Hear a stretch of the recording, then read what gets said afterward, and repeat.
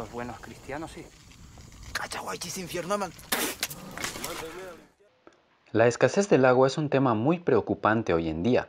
Todo esto debido al cambio climático. Un claro ejemplo de las consecuencias que esto puede ocasionar es lo sucedido en Cochabamba, Bolivia, en el año 2000, tal como esta película expone en parte. También La lluvia es un film español de 2010 dirigido por Isiar Boyaín, directora y guionista española, que normalmente incluye temas sociales, de género y hasta políticos en las películas que hace. La película cuenta la historia de un equipo de filmación español que llega a Bolivia para rodar una película sobre la colonización española en América y el genocidio de los indígenas durante la época de Cristóbal Colón. Sebastián, interpretado por Gael García Bernal, es el director de la película y Costa, interpretado por Luis Tosar, el director de producción. A medida que avanzan con el rodaje, se enfrentan a una serie de desafíos a nivel profesional y social, ya que durante la producción de la película estalla una crisis en el país. Los habitantes de Cochabamba se oponen a la privatización del agua, ocasionando violentas protestas y enfrentamientos con la policía. Esto crea un conflicto interno para el equipo de filmación, ya que se ven atrapados en medio de los acontecimientos y deben poner en una balanza su objetivo profesional y los vínculos que forman con algunos de los actores de su film. La razón por la que hablo de esta película son tres aspectos importantes que tiene.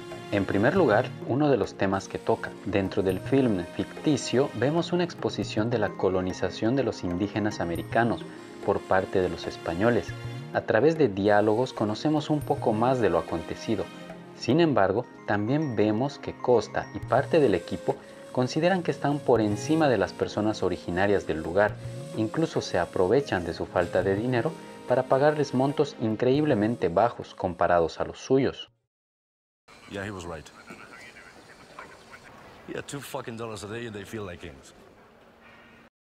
Por otro lado, vemos cómo empresas extranjeras quieren crear sus propias reglas respecto al agua sin considerar las necesidades de los habitantes locales.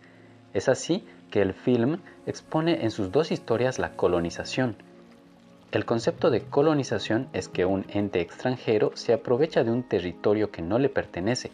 De esta manera, Costa y su equipo se aprovechan de los locales porque son mano de obra barata. Por otro lado, también vemos una colonización económica por parte de las empresas causantes de esta crisis de agua. La manera sutil en la que se expone esto hace que no sea evidente, pero me parece fenomenal que ambas historias se superpongan y de alguna manera traten de lo mismo, el film también explora un tema muy importante hoy en día, la escasez del agua y las posibles consecuencias que esto puede tener. En Bolivia, esta guerra se dio por temas sociales ligados a acuerdos injustos por parte del gobierno con empresas extranjeras, no por una escasez per se. Sin embargo, el mundo se mueve peligrosamente a una escasez de este líquido tan importante en diversas partes del mundo, y está claro que esto puede provocar crisis sociales, políticas y, claro, guerras, ya que cuando uno muere de hambre o sed, el dinero deja de ser importante. Este elemento del film puede representar fácilmente el futuro de las sociedades en diversas partes del mundo. Por ello, también La lluvia puede considerarse como una película ambiental de alguna forma, además que el título se llama así debido a que incluso el agua de lluvia iba a ser privatizada y tener un precio. La manera en la que la película vincula los elementos ficticios con los reales dentro de su historia hace que nos desconectemos a menudo de ambas, ya que no logramos sumergirnos en ninguna del todo. Es como ver dos películas al mismo tiempo.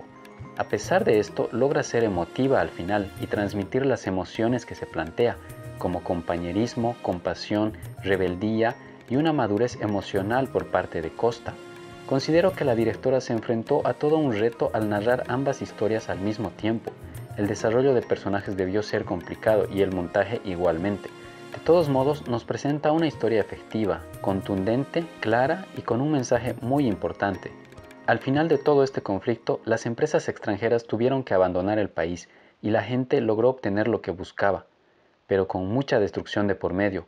Por suerte, siempre se puede volver a construir, tal como la historia de una Latinoamérica resquebrajada, pero muy unida, muestra. ¿Vos también?